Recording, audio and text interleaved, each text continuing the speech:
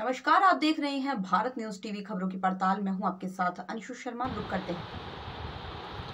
विश्व आदिवासी दिवस के अवसर पर परसौनी बनकटवा तुम हवा मटियर पैच मटियरिया में रंगारंग सांस्कृतिक कार्यक्रम का आयोजन पश्चिम चंपारण ज़िले के रामनगर विधानसभा के अंतर्गत पंचायत परसोनी बनकटवा तुम हवा मटियरिवा मटियरिया गाँव में विश्व आदिवासी दिवस के अवसर पर सांस्कृतिक कार्यक्रम का आयोजन किया गया। कार्यक्रम में मुख्य अतिथि राज्य अनुसूचित जनजाति आयोग के अध्यक्ष शंभू कुमार सुमन ने कहा, उन्नीस सौ चौरानवे से पूरे देश में आदिवासी दिवस मनाया जा रहा है, किंतु आज भी बिहार में अनुसूचित जनजाति के लोग अन्य जातियों से पिछड़े हैं।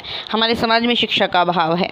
एस एस बी पैंसठवीं बटालियन के असिस्टेंट कमांडेंट सम्मान्य राजन कुमार ने आयोग के अध्यक्ष शंभू कुमार सुमन सहित अन्य को पर्यावरण की रक्षा हेतु फलदार पौधे भेंट किए। कार्यक्रम में मुखिया शहर चौधरी प्रखंड विकास पदाधिकारी शिव जन्मराम मटियरिया थानाध्यक्ष अमित कुमार, सैकड़ों की संख्या में पुरुष महिला शामिल हुए.